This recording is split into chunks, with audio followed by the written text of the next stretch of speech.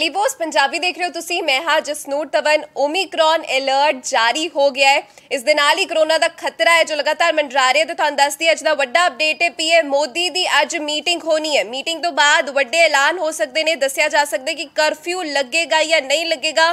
ਕੱਲ ਦੀ ਖਬਰ ਹੈ, ਜਦੋਂ ਕੇਂਦਰ ਵੱਲੋਂ ਸੂਬਿਆਂ ਦੀ ਸਰਕਾਰਾਂ ਨੂੰ ਚਿੱਠੀ ਲਿਖੀ ਗਈ ਸੀ, ਕਿਹਾ ਗਿਆ ਸੀਗਾ ਕਿ ਨਾਈਟ ਕਰਫਿਊ ਵਗੈਰਾ ਦੀ ਤਿਆਰੀ ਕਰ ਲਓ, ਕਿਉਂਕਿ ਖਤਰਾ ਲਗਾਤਾਰ ਵੱਧ ਰਿਹਾ ਹੈ। ਤਾਂ ਓਮਿਕਰੋਨ ਤੋਂ ਦੇਸ਼ ਵਾਸੀਆਂ ਨੂੰ ਬਚਾਉਣ ਲਈ ਬਹੁਤ ਸੇ ਸਟੈਪ ਲੈਣੇ ਪੈ ਸਕਦੇ ਨੇ, ਜਿਸ ਤਰ੍ਹਾਂ ਇਕੱਠ ਹੈ, ਉਸ ਤੇ ਰੋਕ ਲਗਾਣੀ ਪੈ ਸਕਦੀ ਹੈ। ਵਿਆਹ ਸਮਾਗਮਾਂ ਤੇ ਜੋ ਇਕੱਠ ਹੈ, ਉਹਦੇ ਤੇ ਰੋਕ ਲਗਾਣੀ ਪੈ ਸਕਦੀ ਤੇ ਬਹੁਤ ਸੇ ਹੋਰ ਚੀਜ਼ਾਂ ਵੀ ਸਾਨੂੰ ਕਰਨੀਆਂ ਪੈ ਸਕਦੀਆਂ ਨੇ, ਕਿਉਂਕਿ ਲਗਾਤਾਰ ਦੇਸ਼ ਦੇ ਵਿੱਚ ਕਰੋਨਾ ਦੇ ਕੇਸ ਵੱਧ ਰਹੇ ਨੇ, ਮਾਮਲੇ ਲਗਾਤਾਰ ਸਾਹਮਣੇ ਆ ਰਹੇ ਨੇ, ਜਿਸ ਦੇ ਮੱਦੇਨਜ਼ਰ ਅੱਜ ਪੀਐਮ ਮੋਦੀ ਦੀ ਸਿਹਤ ਵਿਭਾਗ ਦੇ ਅਧਿਕਾਰੀਆਂ ਦੇ ਨਾਲ ਇੱਕ ਅਹਿਮ ਮੀਟਿੰਗ ਹੋਣੀ ਹੈ। ਤੁਹਾਨੂੰ ਦੱਸੀ ਕਿ ਦੇਸ਼ ਭਰ ਦੇ ਵਿੱਚ ਜੋ 200 54 ਕਰੋਨਾ ਕੇਸ ਆ ਚੁੱਕੇ ਨੇ। ਤਾਂ ਸਭ ਤੋਂ ਵੱਧ ਖਤਰਾ ਹੈ ਉਹ ਮਹਾਰਾਸ਼ਟਰ, ਤੇਲੰਗਾਨਾ, ਕਰਨਾਟਕਾ, ਰਾਜਸਥਾਨ, ਕੇਰਲਾ, ਗੁਜਰਾਤ, ਜੰਮੂ, ਕਸ਼ਮੀਰ ਤੋਂ ਵੱਧ ਕੇਸ ਆ ਰਹੇ ਨੇ। ਤੇ ਓਡੀਸ਼ਾ ਆਂਧਰਾ ਪ੍ਰਦੇਸ਼ ਤੇ ਉੱਤਰ ਪ੍ਰਦੇਸ਼ ਵਿੱਚ ਵੀ ਹੁਣ ਕਰੋਨਾ ਵਾਇਰਸ ਨੇ ਦਸਤਕ ਦੇ ਦਿੱਤੀ ਹੈ। ਕੋਰੋਨਾ ਵਾਇਰਸ ਦੇ ਨਵੇਂ ਵੇਰੀਐਂਟ ਓਮਿਕਰੋਨ ਨੇ ਦਸਤਕ ਦੇ ਦਿੱਤੀ ਹੈ। ਤਾਂ ਹੁਣ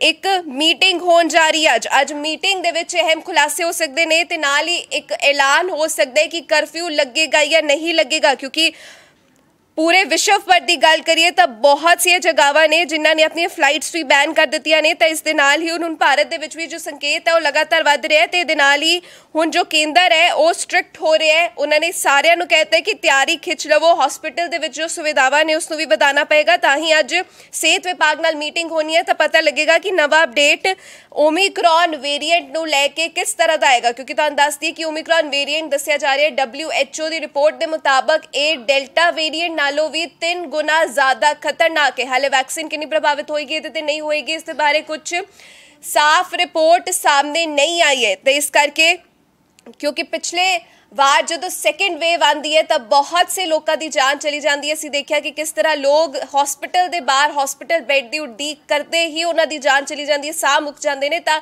ਇਸ ਵਾਰ ਇਹੋ ਜੀ ਤਸਵੀਰ ਕਿਸੇ ਨੂੰ ਨਾ ਦੇਖਣੀ ਪਵੇ, ਕਿਸੇ ਦੀ ਜਾਨ ਇਸੇ ਕਰਕੇ ਨਾ ਚਲ ਜਾਵੇ ਕਿ ਹਸਪੀਟਲ 'ਚ ਬੈੱਡ ਨਾ ਮਿਲੇ, ਇਲਾਜ ਨਾ ਹੋਣ ਕਾਰਨ ਜਾਨ ਨਾ ਚਲੀ ਜਾਵੇ ਤਾਂ ਇਸ ਕਰਕੇ ਬਹੁਤ ਜ਼ਰੂਰੀ ਹੈ ਕਿ ਤਿਆਰੀ ਪਹਿਲੇ ਤੋਂ ਹੋ ਜਾਵੇ ਤੇ ਅੱਜ ਪੀਐਮ ਮੋਦੀ ਦੀ ਮੀਟਿੰਗ ਹੋਣੀ, ਅੱਜ ਮੀਟਿੰਗ ਹੋਏਗੀ ਤਾਂ ਵੱਡੇ ਐਲਾਨ ਹੋ ਸਕਦੇ ਨੇ ਕਿ ਕਰਫਿਊ ਨੂੰ ਲੈ ਕੇ, ਕਿਉਂਕਿ ਕੱਲ ਕੇਂਦਰ ਵੱਲੋਂ ਰਾਜਾਂ ਨੂੰ ਚਿੱਠੀ ਲਿਖੀ ਗਈ ਸੀ ਤੇ ਕਿਹਾ ਗਿਆ ਸੀ ਕਿ ਆਪਣੀ ਤਿਆਰੀ ਕਰ ਲਓ, ਨਾਈਟ ਕਰਫਿਊ ਵੀ ਲਗਾਉਣਾ ਪੈ ਸਕਦਾ ਹੈ, ਭਾਰੀ ਇਕੱਠ ਤੇ ਰੋਕ ਲਗਾਣੀ ਪੈ ਸਕਦੀ ਹੈ ਤੇ ਇਸ ਦੇ ਮੱਦੇਨਜ਼ਰ ਹੁਣ ਦੇਖਣਾ ਬਣਦਾ ਕਿ ਅੱਜ ਜੋ ਮੀਟਿੰਗ ਹੋਏਗੀ, ਉਸ ਤੋਂ ਬਾਅਦ ਕੀ ਫੈਸਲਾ ਹੋਏਗਾ, ਕੀ ਐਲਾਨ ਹੋਏਗਾ ਤੇ ਇੱਕ ਵਾਰ ਫਿਰ ਤੁਹਾਨੂੰ ਦੱਸ ਦਈਏ ਕਿ ਓਮਿਕਰੋਨ ਦਾ ਜੋ ਖਤਰਾ ਹੈ, ਉਹ ਲਗਾਤਾਰ ਜਾਰੀ ਹੈ, ਭਾਰਤ ਦੇ ਵਿੱਚ ਵੀ ਦਸਤਕ ਦੇ ਚੁੱਕਾ ਹੈ, ਦਿੱਲੀ ਮਹਾਰਾਸ਼ਟਰ, ਤੇਲੰਗਾਨਾ, ਕਰਨਾਟਕਾ, ਰਾਜਸਥਾਨ, ਗੁਜਰਾਤ, ਇਹਨਾਂ ਸਾਰਿਆਂ ਰਾਜਾਂ ਦੇ ਵਿੱਚ ਓਮਿਕਰੋਨ ਅਲਰਟ ਹੈ, ਉਹ ਜਾਰੀ ਕਰ ਦਿੱਤਾ ਗਿਆ। ਪੰਜਾਬ ਦੇ ਵਿੱਚ ਵੀ ਲਗਾਤਾਰ ਕੇਸ ਆ ਰਹੇ ਨੇ ਤੇ ਨਾਲ ਹੀ ਸਕੂਲਾਂ ਦੇ ਵਿੱਚ ਵੀ ਕਿੰਨੇ ਕੇਸ ਆਏ ਨੇ।